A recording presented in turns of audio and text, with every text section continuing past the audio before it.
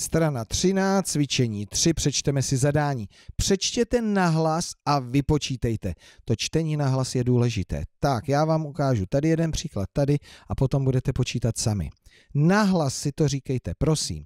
81 tisíc plus 784 rovná se 81 784.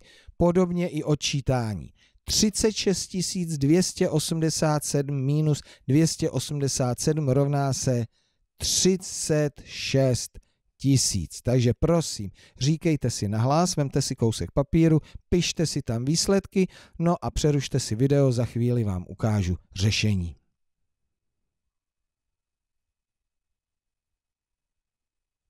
Tak, poctivě jste počítali.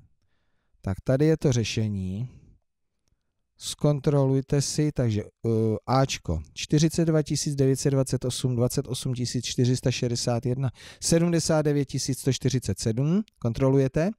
U Bčka, ten druhý příklad, 53 tisíc, potom 14 tisíc, 97 tisíc, jsem u Cčka 65 tisíc, potom 96 374, potom 47 tisíc, 33 525, No a zkontrolujte si D 73 832, 51 000, 28 257 a 84 000. Nejsou to těžké příklady, ale pozor, může se zamotat jazyk, můžou se zamotat nuly a chyba je hned.